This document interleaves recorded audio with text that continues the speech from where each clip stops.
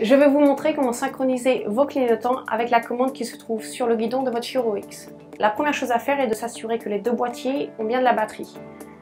Je presse le bouton, voilà, une lumière rouge apparaît, pareil ici. Voilà, les deux sont chargés.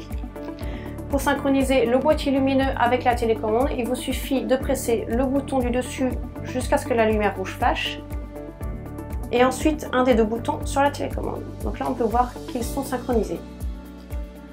Pour utiliser le boîtier lumineux en mode flash, il vous suffit de presser longuement les deux boutons de la télécommande.